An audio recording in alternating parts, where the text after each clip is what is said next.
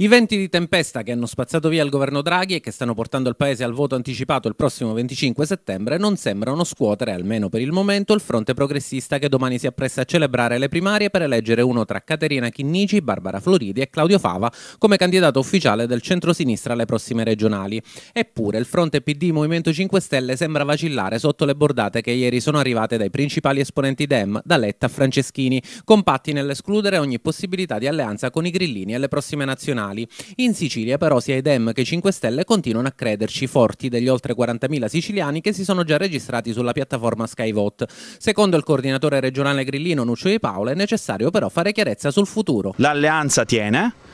eh, la coalizione si è formata man mano, ed è attenzione una coalizione inclusiva, si è formata man mano in questi ultimi due o tre anni eh, cercando di mh, fare opposizione, facendo opposizione al governo Musumeci e nello stesso tempo creando un'alternativa valida alla Sicilia. A livello nazionale, e per questo io ho chiesto chiarimenti al vice segretario nazionale del PD Provenzano, dopo quello che è successo il PD eh, dire, sta facendo qualche attacco di troppo al Movimento 5 Stelle. Io ho chiesto chiarezza, l'ho chiesto espressamente al PD, ma soprattutto al PD ai vertici nazionali, perché qui a livello regionale eh, i vertici del PD continuano a dare rassicurazioni sull'alleanza, l'alleanza tiene, è forte e salda, però a livello nazionale non possiamo fare due percorsi distinti, che a livello regionale andiamo insieme, mentre a livello nazionale il PD continua ad attaccare il Movimento 5 Stelle. Questa cosa noi la riteniamo non opportuna e abbiamo chiesto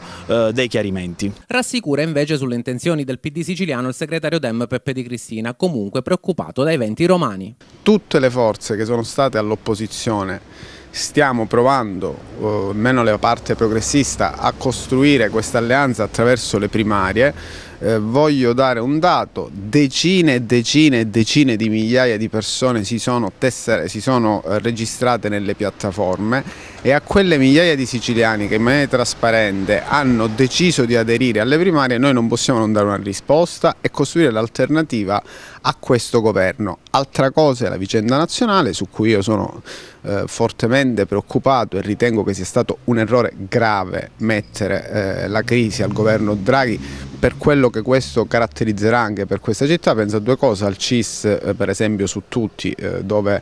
eh, purtroppo un'altra volta avremo uno stop, ma detto questo una cosa sono i territori, una cosa è la vicenda nazionale. Intanto non è ancora da escludere l'ipotesi di un election day che accorpi regionali e nazionali qualora il presidente Musumeci decida di porre fine anticipatamente al suo mandato per andare immediatamente al voto. I grillini insistono sul rischio di una possibile narrazione diversa tra Roma e Palermo che potrebbe portare a far vacillare l'alleanza sull'isola. La narrazione deve essere univoca, non possiamo andare insieme in Sicilia e per le nazionali raccontare un'altra storia. O raccontiamo un'unica storia, una storia che può dare un'alternativa, una visione diversa in Sicilia e al governo eh, del paese, oppure sarà difficile eh, come dire, fare due percorsi eh, diversi. Io credo che domani sarà una festa della democrazia e rispetto a questa festa della democrazia bisogna dare una risposta di grande unità.